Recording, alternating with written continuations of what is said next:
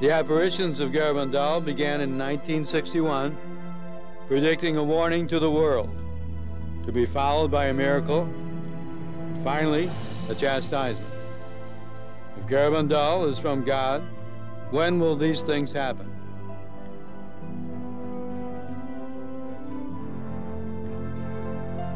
On June 3, 1963, as the village church bells tolled the death of Pope John the 23rd, Conchita spoke this prophecy.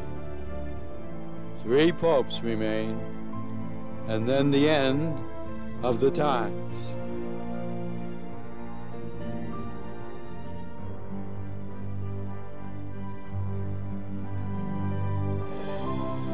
Paul VI was the first of the three popes.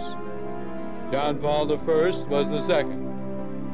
One predicted to be the last pope, John Paul II, has ruled for many years.